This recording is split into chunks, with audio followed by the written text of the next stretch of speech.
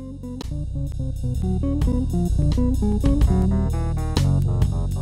standing in front of a photograph by Alfred Stieglitz, one of the most important American photographers of the last 100 years. This work is called Winter, Fifth Avenue, New York. It's from 1892, and it's one of Alfred Stieglitz's most famous photographs.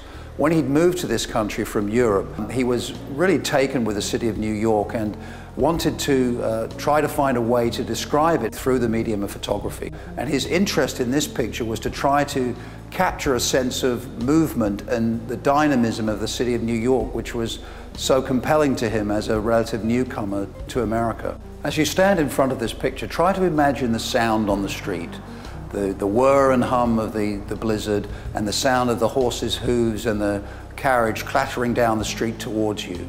Alfred Stieglitz might be thought of as one of the first photographers of modern American life.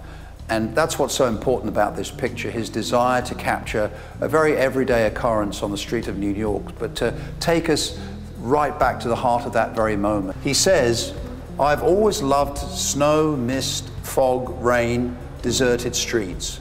My picture, Winter Fifth Avenue, is the result of a three hour stand during a fierce snowstorm awaiting the proper moment.